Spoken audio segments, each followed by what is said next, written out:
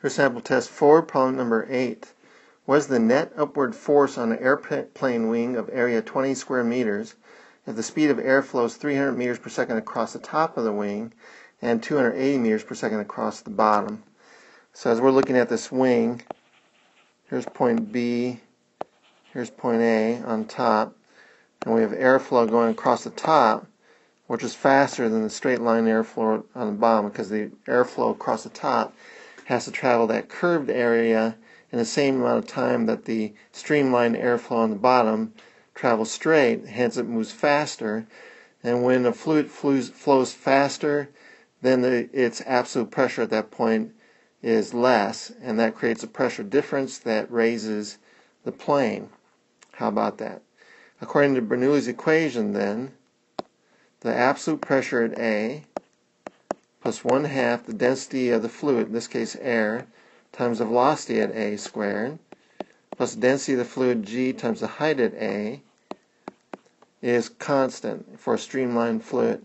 So that's equal to the absolute pressure of B plus 1 half rho times the velocity of B squared plus rho G height of B. Now the difference in heights between A and B and with respect to some reference is really small and the density of air is really small.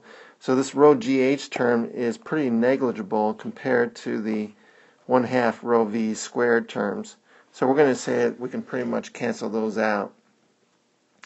So hence, we would have that the absolute pressure at B minus the absolute pressure at A would be equal to 1 half rho times the velocity at A squared minus the velocity at b squared, just calculating that. So our change in pressure is going to equal 1 half the density of air, velocity at a squared minus the velocity at b squared. That's going to be 1 half.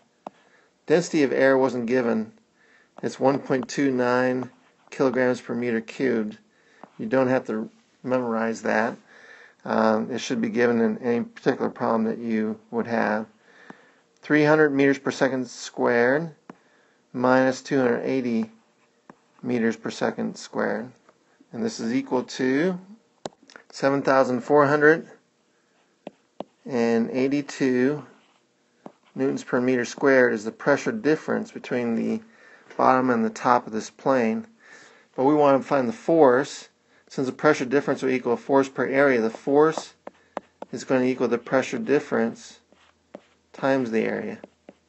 So that's going to be 7,482 newtons per meter squared times 20 meters squared. Meter squares cancel out, and that's equal to 149,640 newtons.